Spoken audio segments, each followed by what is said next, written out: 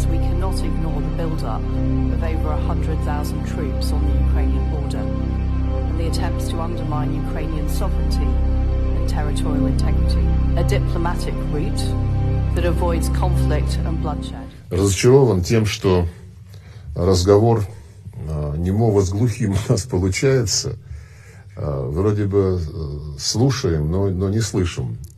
По крайней мере, наши подробнейшие разъяснения – президент Зеленский призывает не паниковать.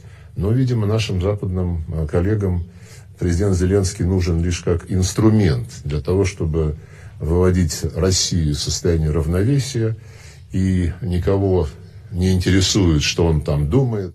I think there are further talks to be had. NATO has put proposals on the table to improve transparency, to improve confidence, and I want us to take those talks forward.